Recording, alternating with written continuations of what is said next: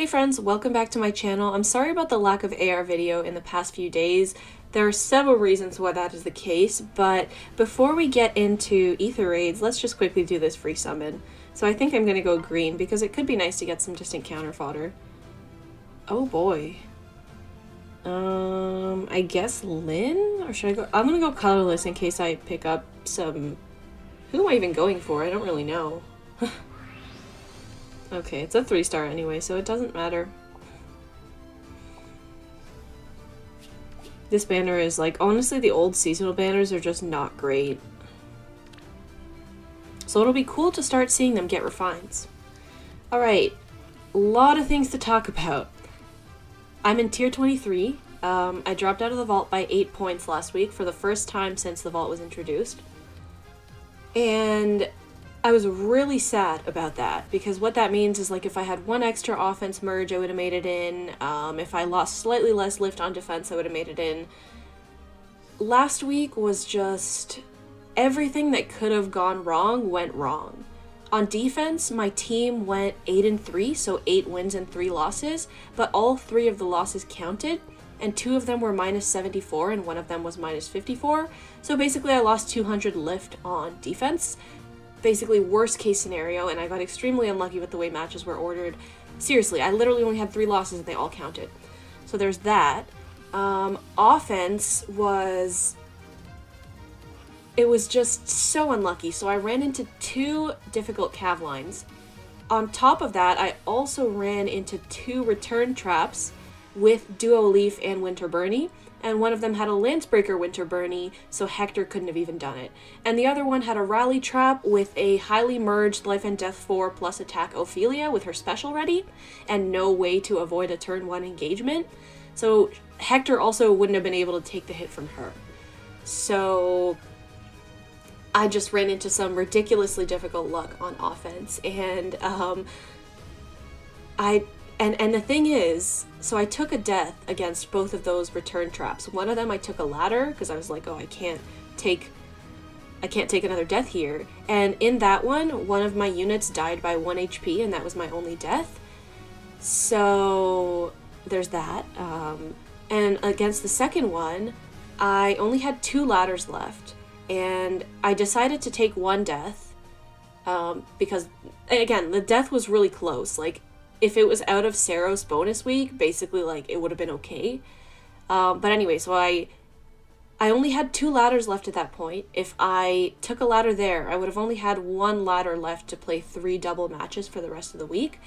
So I thought I did the math and I would have been able to stay in tier 38 anyway, even with taking a death on that match as long as my defense team didn't lose more than minus 74, which is a full loss. However, I guess I miscalculated because I took that death, and then my defense team took a minus 74, and then it pushed me out of the vault by 8 points. So, if I had actually done the math properly, I don't know how I messed that up so badly, um, I would have not taken the death there. I would have just taken a ladder and hoped that I could finish out the season with just one ladder left.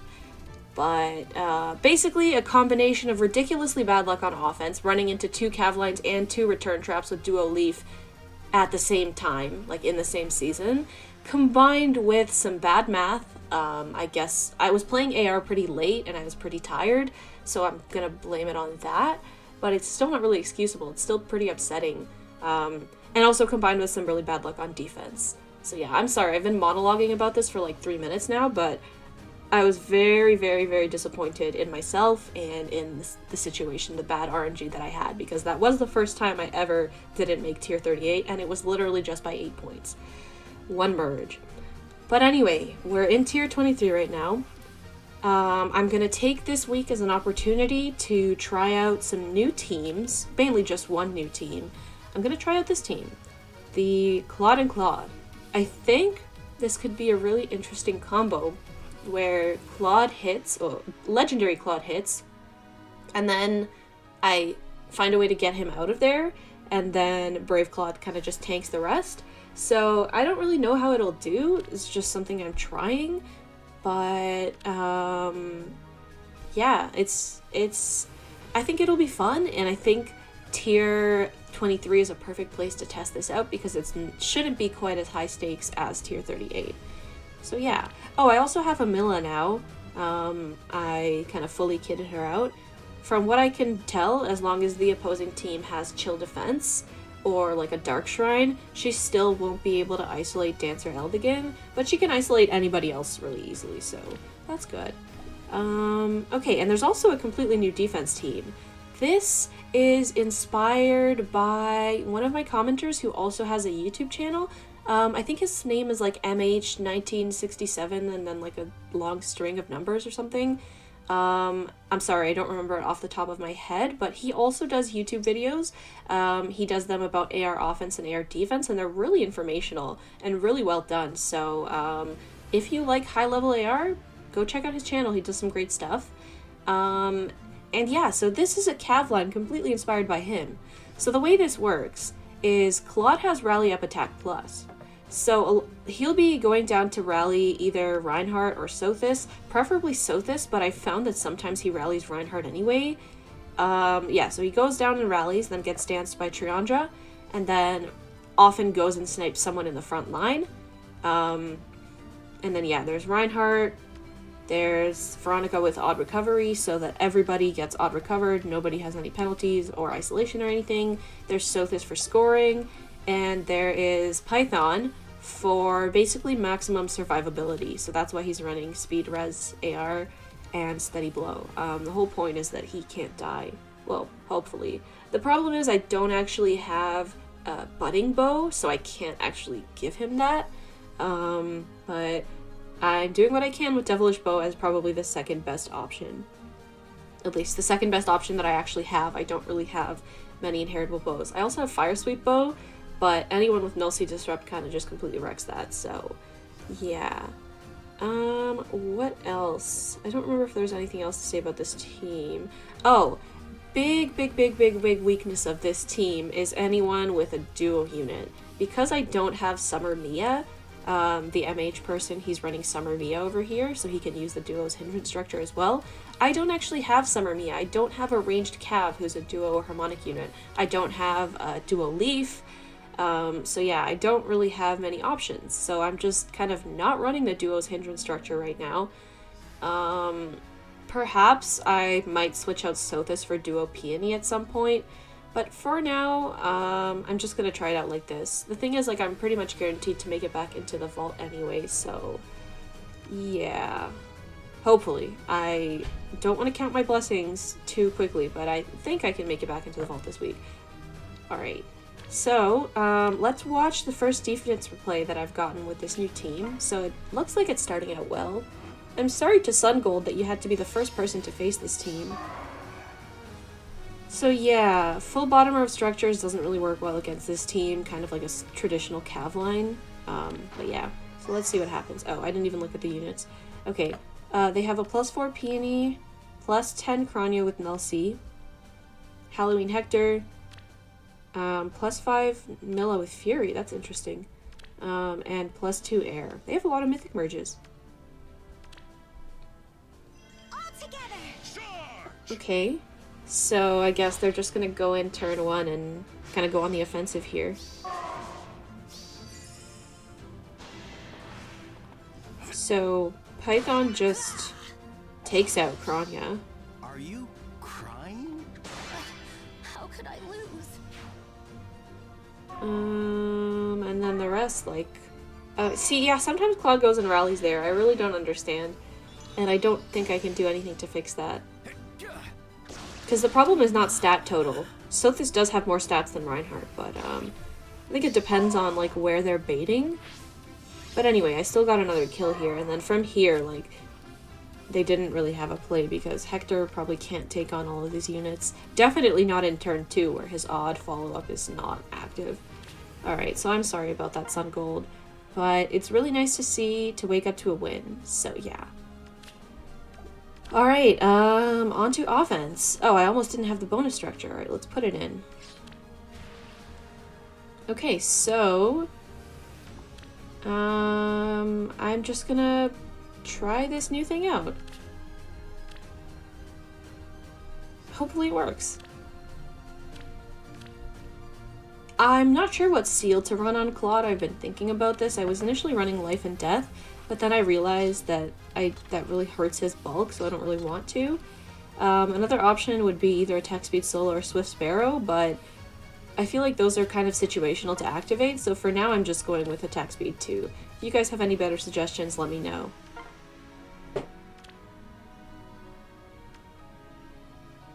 Okay, so there's an Eldigan who I can't isolate. There's a plus 10 Azura who I can isolate. Bramimond, Bernadetta, Lysithea, and Ophelia. Okay. Um. Hmm. Can I literally just snipe Lysithea? Maybe I'll do it with Legendary Claude and then uh, get Brave Claude in there. Because Lysithea is kind of scary. Um, I think we're going to try that. First time using this new team. I was trying it against some Friends Defense teams yesterday, but um, that's not always a good representation of what you'll actually be facing. So I don't see any rallies or anything, so there's definitely no force of any kind of engagement at the beginning. Let's go. Maybe. So next turn, Claude should be ready in position. Yes. Um, and Brave Claude should also be ready. Doesn't really matter if I go in turn two or three, I feel like. Unless I can't kill Lysithea here. I can. Do I have animations on? Okay, I do. This? So, this is the first time that we get to see this Claude in action.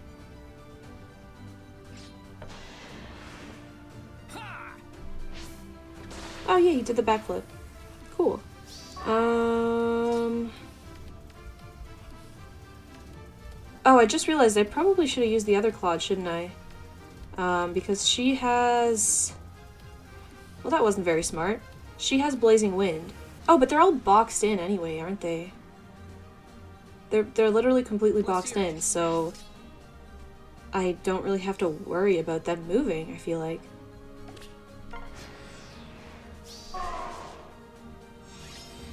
Yeah. Okay, so I'm gonna... I have to be more mindful of that. This Claude doesn't have Pulse Smoke because I just don't have it on him. If I get Pulse Smoke, he might be the one to get it, but, um... Anyway, so... Hmm.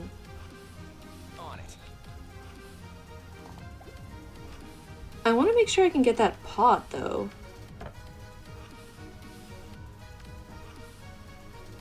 Let's hear it. So maybe I take out Eldigan to get rid of that, um... Get rid of that... What's the word? Blazing Wind on Ophelia? And then... Um, maybe we dance Claude. Put him down here so he's not baiting everyone, just some people. And then, yeah, Ophelia doesn't have a way to reach. So Brammy goes first.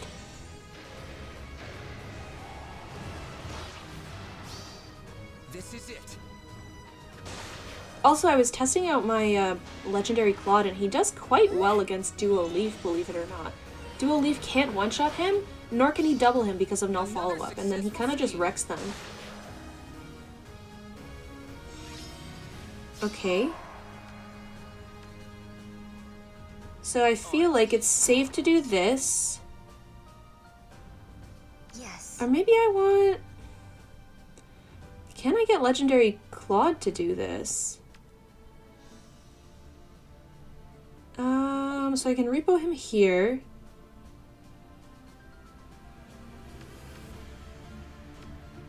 Um, no, I'll just play it safe and get um, Brave Claude to do it. I really don't want to throw a match on day one. And now they should both just attack into him. Yeah. Another successful scheme. Cool. And then Azura. Surprised she's even hitting that one damage. Another successful scheme. Alright, one down, seven more to go. And then I'll hopefully be back in the vault. Um, ooh, this does not feel nice. I'm not super happy about this situation, not being in the vault right now, but um, sometimes it happens. I recognize that it's not so much related to skill as much as I was just ridiculously unlucky last week and also apparently bad at math. Um, so yeah, leave some encouragement in the comments, please. I'm still not really happy. I'm not really okay with it, but um, we're gonna make it through. We're gonna make it back into the vault next week, and I will see all of you again back in tier 38, just in time for the new background, I think, probably. Unless the new background already came out this week, in which case, please don't tell me, because I'll be sad that I don't get to see that new background right now. Um, but yeah, so I guess I will see you all tomorrow. Thank you for tuning in, and I hope this week can be entertaining despite me not being in the vault. Alright, bye guys.